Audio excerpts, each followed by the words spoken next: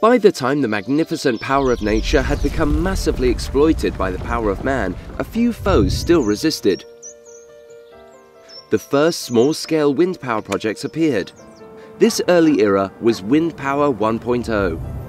Thanks to the winds of California, the seeds of innovation fell on fertile ground. In the late 70s, the first commercial wind parks were built. It was called the California Wind Rush, and Wind Power 2.0 gained momentum. Through the years, legislation raised the young industry to a new level. Wind Power 3.0 boomed due to heavy investments stimulated by favourable subsidies. But now it's time to play by market rules with no indulgence. This is Wind Power 4.0. This is where Keel Solution comes into play.